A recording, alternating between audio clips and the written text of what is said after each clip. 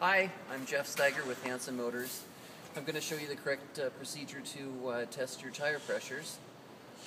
You'll have an indicator light that'll come on that'll be a, a amber color. It'll be a cross section of a tire with an exclamation point in it, and that's telling you that the car sees that one of your tires is below or above tire minimum or maximum tire pressure. Every one of our Subarus we deliver with a tire gauge in your glove box. So we'll grab that quick. And to know what the correct pressures are, you'll have a little placard on your door jamb that'll tell you the correct tire pressures. It's best to measure them cold. You get a more accurate reading cold. So let's go to the one of the tires and check.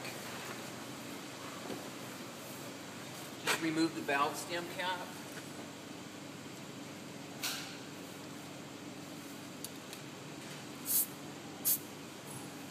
And sometimes you might want to do it twice. This one's reading correctly, so we'll check the other three to see which one may be low or high.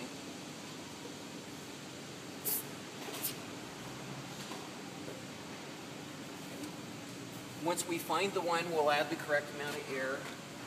And uh, it may take about 10 miles of driving before the car will re-register the correct uh, reading for the tire, and then it'll shut the light off. If the light does stay on, or you get the TPMS red warning signal, you'll need to call us or just come on in. No appointment needed. We'll check. We'll check it out. But if the TPMS light is on, that is a possible sign that there may be something wrong with the system and it may not be functioning correctly.